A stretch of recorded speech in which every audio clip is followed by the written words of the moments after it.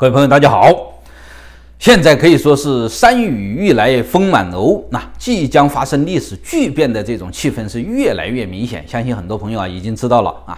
中美互相增加关税的这个消息，所以说呢，我等一会儿啊，只不过是要简要的对这个消息进行啊概括。那今天想跟大家探讨的重点内容是这一轮的这个互相增加关税之后会引起哪一些后果？简要的说是会引起十个方面的啊政治和经济方面的严重后果。然后呢，我们再推演一下习近平会采取哪一些措施，哪一些极端的措施来防止对他不利的后果。最后呢？还要给党内的反西派人士和民间的民主派人士啊提一些意建议，大家应当怎么样应对即将到来的历史巨变？那这一轮互相增加关税是从八月十五号开始的。八月十五号呢，川普宣布对三千亿美金的中国出口美国的商品呢增加百分之十的关税，从九月一号开始实施。那到了啊，八月十五号宣布，到了八月二十三号，中共啊。就宣布了他的对美国的反制措施，要把七百五十亿美金的美国出口中国的商品征收百分之五到百分之十不等的关税，同时呢，也对过去已经暂缓征收的这个美国汽车和汽车零部件的这个关税啊，重新再征收，分别是征收百分之十到百分之五。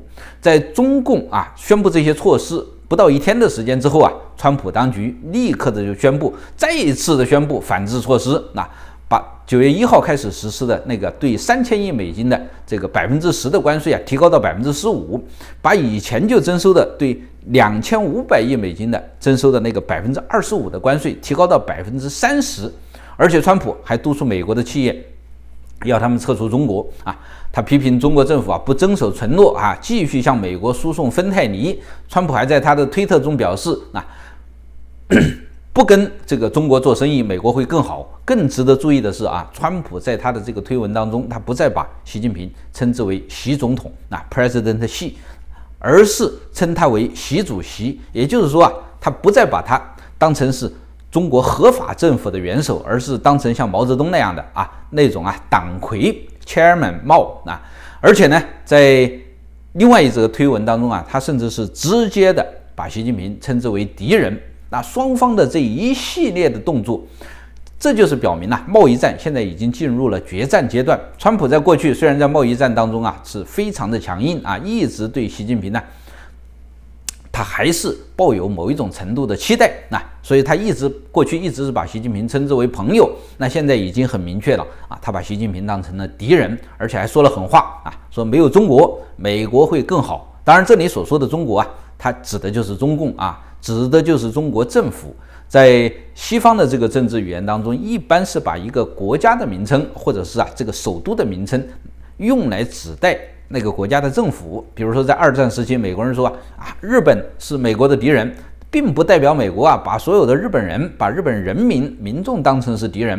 实际上，在二战以后，美国呢这个作为占领军，他对日本的这个民众啊。这个照顾啊，可以说是无微不至啊，不仅仅是给他们巨大的经济上的帮助，而且呢，还很照顾他们的面子啊，顾及他们的尊严。那川普说这个话，就让我很容易联想到啊，这个电影《让子弹飞》啊，电影里面的那个英雄张麻子啊，对恶霸黄四郎就曾经说过啊，没有你对我更重要。那说这种话呢？就不仅仅是一般的宣战了，而是发出决战的这种信号了啊！是在表达要血战到底的啊！这个一定要把对方消灭的这种决心。那川普说这种话呀，是有他的原因的。那过去很多年，他都是在美向美国社会啊这个传达这样的信息。他说中国这个中共啊，他在侵占美国的这个市场，盗取美国的这个知识产权，美国必须得进行反击。美国过去的历任的总统啊，没有尽到他们的职责。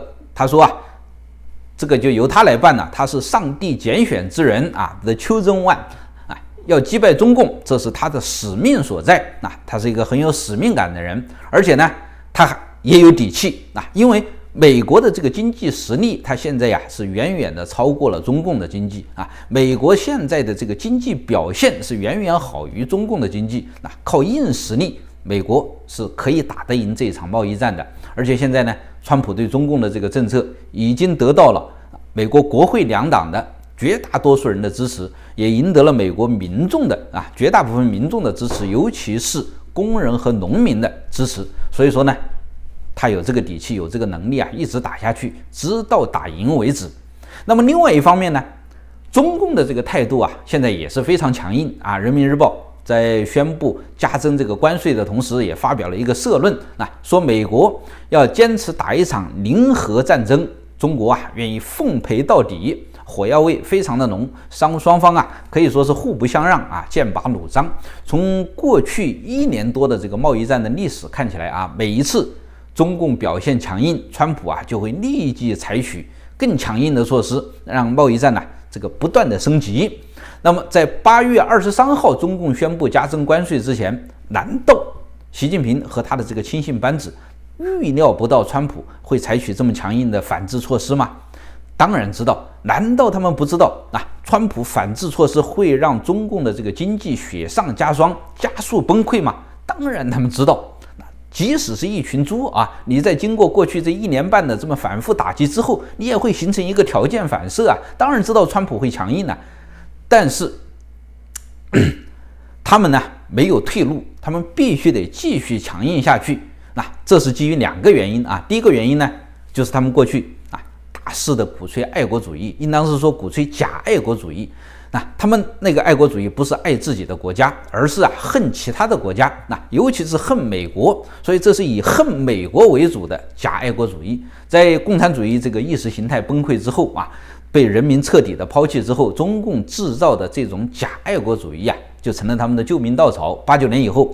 这三十年当中啊，这种假爱国主义成为中共的主流的意识形态。那在这种意识形态之下，那人人都成了战狼，中共的这个外交就被简化成了战狼外交。那越强硬就表示越爱国。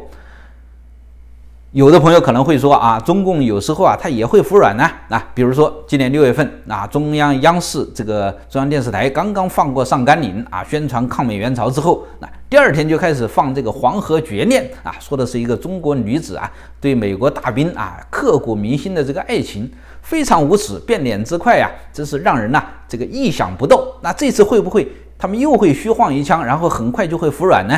我告诉大家，这次不会。中共过去这个贸易战这一年多当中啊，虽然是反复无常，但是呢还是有规律可循。那就是啊，他每次这个国际峰会召开之前啊，每当习近平必须和川普见面之前，中共啊会放软一下身段。但是，一旦习近平回国之后呢，马上就会再次强硬起来。那放软身段呢，是为了习近平呢在出国的时候不被川普当面打脸，在全世界这个。国际媒体全部都要关注的时候，国际会议的这种场合要为习近平保住面子。但是习近平一回到国内，他就必须让他的下属、让臣民呐知道他是多么厉害啊！他对川普、对美国是多么强硬。川普啊，过去曾经多次抱怨习近平，说他不遵守承诺啊。反复无常，实际上啊，习近平并不是说他有诚，仅仅有诚信问题，更重要的一个原因，他必须是尊重战狼逻辑，他必须得成为那个最大的那一头战狼，其他的战狼才会服从他的权威。所以，习近平呢，这个出国的时间比较少，那在国内的时间比较多，所以大家都可以看得见，虽然中共对美国的态度反复无常，但是还是以强硬为主，强硬的时候比较多，表示友好的时间呢比较少。今年十二月一号之前，习近平他不会去跟川普见面了，所以说他还会呀，这段时间他会继续强硬下去。那不排除中共还会继续为贸易战加码。那么我们现在来讲一讲，为什么说这一次中美啊这个互相增加关税是贸易战决战的这个开始？因为这一轮增加关税，它的幅度非常大，涉及的面非常广，尤其是美国这一轮增加关税，涵盖了。所有的中国出口美国的商品，而且呢是百分之十五到百分之三十的增幅，这会造成一系列非常非常严重的后果。第一个后果呢，就是中国对美国的这个贸易额会大规模的缩小。现在很多这个外贸企业它利润率是很低的，根本没有办法承受得起百分之十五到百分之三十的这个额外的关税，所以对美国的出口会减少，贸易顺差会大幅度减少。那第二个呢，就是造成外资加速逃离中国。川普已经公开的督促美国企业撤出中国了，但是呢，这次撤出的不仅仅是美国企业，还有其他国家的企业。那过去这。还有一些外资停留在中国，这是因为啊，他们还抱有一种幻想，认为美中之间的这个贸易战会缓和下来。现在呢，经过这一轮的这个加征关税，幻想彻底破灭了，他们都会意识到，再不撤离，那就玉石俱焚了。那第三个结果呢？就是啊，大量的这个中国民营企业纷纷倒闭，那那些为外资企业提供这个供货的这些下游的民营企业，它会倒闭；一些以海外市场为主的民营企业，它也会减产或者是倒闭。那第四个结果呢，就是大批的工人失业。那现在失业率啊已经非常高了，城市户籍的这个人口的失业率，官方统计的数据已经达到了百分之五点四，实际上的数据啊。可能比这个数据还要高得多，因为这个国家统计局的数据啊，但都是有水分的啊。当然，这个数据还不算上那个失业的农民工。那这一轮加征关税之后，失业率啊，尤其是农民工的失业率会迅速的上涨。那第五个结果呢，就是这个人民币的这个汇率会贬值啊。外资撤离之后，那会造成人民币贬值。人民币现在已经破七了啊。过去这几天呢，一直在喋喋不休。今天早上的这个离岸的价格已经跌到了百啊，是七点一二啊，七点一二还会继续跌。那第六个结果就是进口商品会涨价，尤其是石油和粮食会涨价。石油涨价就会增加这个制造业和运输业的成本，而粮食涨价呢，后果就更加严重，会影响到老百姓的生计。中国百分之三十的。这个粮食要靠进口，而进口粮食呢要用美元，人民币对美元贬值了之后，粮食的价格就会大幅上升。那过去呢一年的这个粮食价格已经上涨不少了，那今后还会有大幅的上升，这个后果相当严重。那第七个结果就是企业的这个债务链会断裂。过去一年多啊。这个暴雷的啊有很多，主要是民间融资平台，比如 P2P 啊，或者是这个服务行业，比如说是房屋租赁行业。总体来讲呢，他们的这个啊资金规模都不是很大，最多也就是涉及几千亿啊加起来。但是呢，当大规模的民营企业、制造业企业倒闭的时候，那个债务链呢将会制造业的这个债务链断裂，那造成的将会是几万亿资产的这种金融危机。那第八个结果呢？就是政府财政收入会减少。去年呢，只有四个省一级地方的政府啊有财政盈余，其他的都是入不敷出。那随着外资企业大规模的撤离和民营企业的大规模的倒闭，中央政府和地方政府的财政收入就会大幅度的下降。下降了怎么办呢？就第九个结果，那就是啊，通货膨胀会失控，财政收入减少了。但是它的支出啊还在增加，因为经济状况越差，那政府就越需要维稳，就需要花更多的钱来控制人民啊，花更多钱控制政府官员、控制军队。那钱从哪里来呢？只能是通过那印钞机来印啊。中国的这个钞票已经是印的太多了，它已经超过了美国和欧盟的这个货币的总和了。但是今后还会加速的印，更大量的印，那最后呢就会导致通货膨胀失控。最后啊，甚至有可能出现俄罗斯和阿根廷曾经出过出现过的那种局面啊，就是用一布袋的这个钱只能买一布袋的米，这种场面会发生。那第十个结果，那就是颜色革命会爆发，全民上街会开始，大量的民众失业了。大家想一想，不出半年啊，就会出现全民上街的局面。那，刚刚开始的时候啊，这个大家都能够保持镇定啊，还觉得。有希望找到新的工作，但是呢，当社会上的失业的人越来越多，那大部分人呢就知道了自己根本没可能呢再找到新的工作了。这个时候啊，他们就会产生恐慌啊。根据国家统计局的这个数据啊，两个月之前公布的好像是啊，中国有百分之五十的人，他们的存款呢是不到一万块钱，一万块钱人民币。那这一万块钱，即使是住在农村地区的。你如果是没有收入来源，那很快就会用光啊，很快坐吃山空啊，生活很快就会陷入困境了。那更何况还有一个因素啊，就是物价上涨的这个因素，物价迅速上涨，那一方面是失业收入减少了或者没有了，另外一方面物价迅速上涨，支出增加了，这两个因素加在一起，那就会让老百姓的不满迅速的达到临界点，那引发全国规模的抗议行动，那最后呢，就会把这个千疮百孔的这个政权呢给彻底的摧垮，民变会摧垮政权，那么。习近平和他的这个亲信班子，他难道预料不到这些结果吗？当然，他们也预料得到，他们掌握的资料啊比我们多，比我们全面。所以说，早在今年的这个年初啊，他们就多次强调了啊，都就已经预料到，多次强调要六稳啊，稳就业啊，稳外贸，稳外资，稳投资，稳预期，稳金融。那当然，他们也知道啊，经济层面呢。说是稳，实际上是根本稳不住的。所以说，他们的重点是在政治层面，重点是稳政治。啊，今年年初的时候啊，他们也说过了嘛，二零一九年的主要的任务啊，就是防止颜色革命。这是公安部长赵克志说的。那么，他们会怎么样来稳政治呢？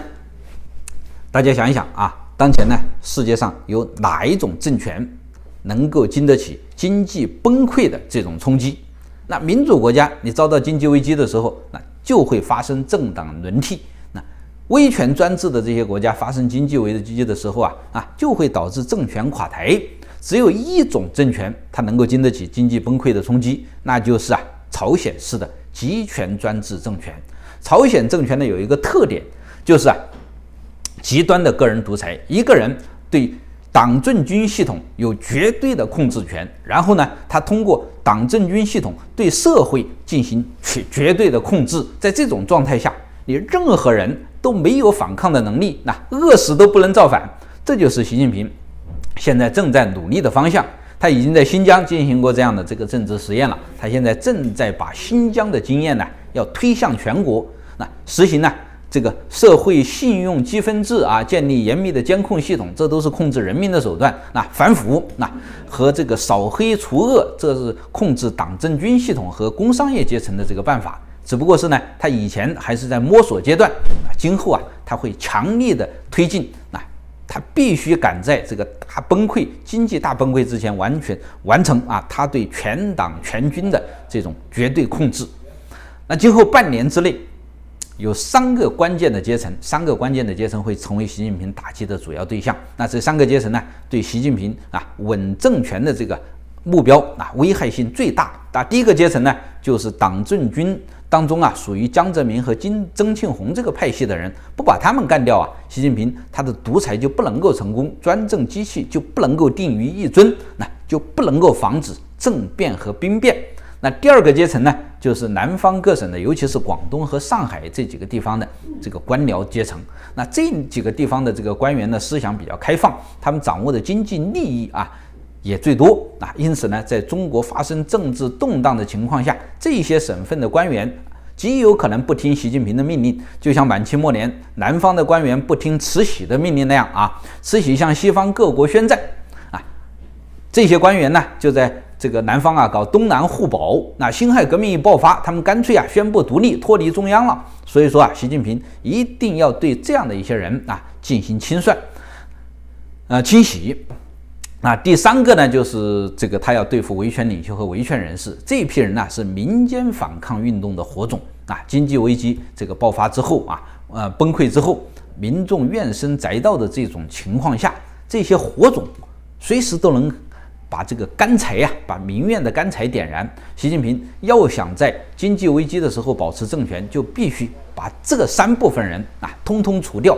那么这些人呢，在国内的就会被关起来啊，在海外的，像我们全民共振团队这样的啊，到处煽风点火的，那他们就会下毒手，制造各种各样的事故和这个凶案啊，来对我们进行人身消灭。所以说呢，无论是在国内，还是在海外，那无论是在体制内还是在体制外，只要是在这个三个阶层里面的，大家一定要非常注意安全。但是我也告诉大家，靠单纯的防守那是防不住的啊！他们对手迟早会啊下手得逞。那 体制内的这些人士和体制外的这个反习人士，大家要想抵制习近平的这个倒行逆施，只有一个办法，那就是啊向他们进攻。那进攻是最好的防守，先下手为强，后下手遭殃。谁先进攻，谁得胜的可能性就机会就大。啊，迟疑不决呢，最后就一定会受制于人，任人宰割。那今年的十一呢是非常好的动手的时机，香港在抗争啊，现在这个香港正是如火如荼的在抗争，让习近平政权疲于应付了。那再加上贸易战啊，习近平节节败退，党政军内部对习近平的这个不满和鄙视现在是空前高涨。而且呢，十一还有一个好处，就是在这个时候啊，很多地方会举行庆典，大家借着这个活动的机会啊，体制内外。这个反西力量各自努力，把社会各个阶层都聚集到这个庆典的这个场合，聚集到一起，聚集到一起了，就有政治运作的空间了，就能产生政治力量了。那我相信呢，有心人一定懂得我讲的这个道理。那一场巨变现在啊正要发生了啊，我们已经听得见这个历史的车轮现在呀正在轰隆作响啊，发出巨大的响声啊。逆潮流而动的，逆这个历史的这个方向而动的，那么就最后一定会啊被历史的车轮所碾碎啊，顺应历史发展方向前进的，那就会看到光明的未来。所以希望大家一起来努力。那今天呢，我就讲到这里。那。本来呢，刚才呢收到一则消息，是关于呀反送中运动的一个重要的消息，但是呢我还没有核实，所以呢今天晚上、明天呢上午我尽快的把它核实之后，那争取明后天来向大家通报。好，今天讲到这里，非常感谢大家的收听收看啊，谢谢大家，再见。